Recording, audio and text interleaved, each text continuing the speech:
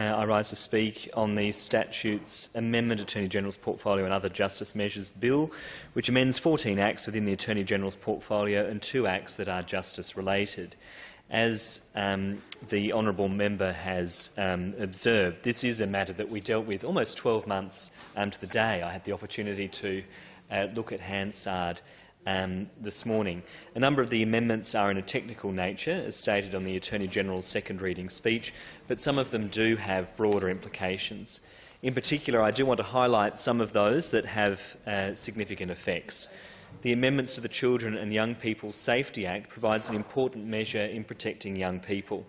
In cases where a young person is involved in communication with a person subject to a direction, this amendment ensures the child is protected from committing an offence and as many in this chamber will be aware, I'm committed to ensuring that children are not caught up in the criminal justice system, and this amendment certainly prevents that in some cases. Part 13 of the bill removes automatic entitlement to legal representation under initial reviews provided for in the Mental Health Act of 2009. The Greens have some concerns with this clause, however, as we believe in the fundamental principles of the right to a fair hearing, and we believe that this must be upheld. That includes the right to competent representation through our legal processes.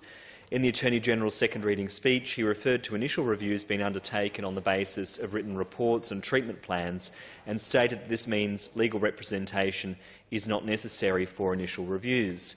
In a submission to the then former um, then Attorney General, the Honourable Vickie Chapman, the Law Society stated in its opposition to the proposal to exempt Section 79 reviews because the orders which are reviewable under this section involve orders in respect of the detention of children, the extension of inpatient treatment orders and in detention of a person who has been detained following the uh, who has been and the detention of a person who has been detained following the expiry or revocation of a previous inpatient detention order.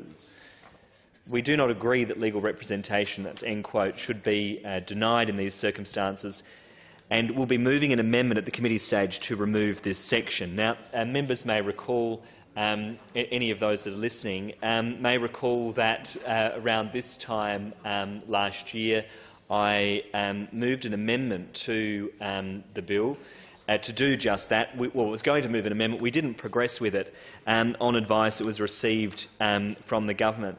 Uh, but my office has since engaged with the Law Society again, and it is still their view that they have some concerns around this section, and it's on that basis that I will be um, proceeding with the amendment. Thank you.